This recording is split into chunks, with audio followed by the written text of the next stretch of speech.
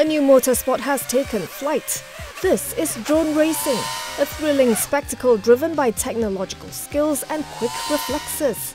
Basically, um, pilots will wear their goggles which shows them the live feed of their drones and they will fly their drones around obstacle course. It's quite a picking up sport I would say in Malaysia because it has been around since like mid 2000 17, 18 maybe, but Cyberview has recently launched their Drone Hub Innovation for Future Talents uh, last year, 2024.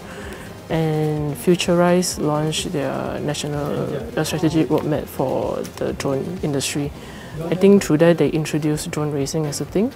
The indoor uh, FPV drone racing, they use tiny whoops. So it's very small drones and they fly indoors. So usually they fly it with neon lights and stuff. Where else the outdoor one, they will do it in a open space like a field, a school field, and there will be obstacle course where they use 5-inch racing drones to fly around. Those drones are slightly bigger, but uh, they don't have guards. So tiny whoops, they have guards that protect the propellers, whereas uh, 5-inch racing drones, they don't have the guards, which if you crash and burn, uh, it costs us more money to repair. Lah.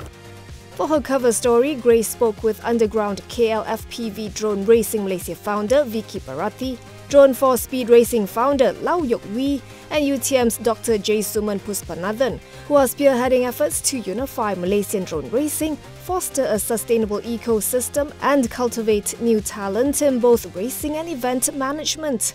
Grace highlighted Vicky's creation of a free open source drone configuration and cloud based scoring platform saving racers 2,000 ringgit and letting them focus on racing instead of costs. These initiatives are bolstering the local scene, which features rising stars like Nora Risha Zuraidi. She is the first Malaysian female FPV drone racer to be in the top 10 uh, drone racing pilots in the 2024 World Drone Racing Championship. So that was a big thing because she's actually only 17 yeah, but she has a lot of support from her dad, which is encouraging to see. But her dad is also, Mr. Zuraidi, actually is very involved in uh, drones himself too because he is actually a instructor for Center for Instructor and Advanced Skill Training. So the agency is actually under the Ministry of Human Resources. So they specialize in training up uh, instructors in TVET.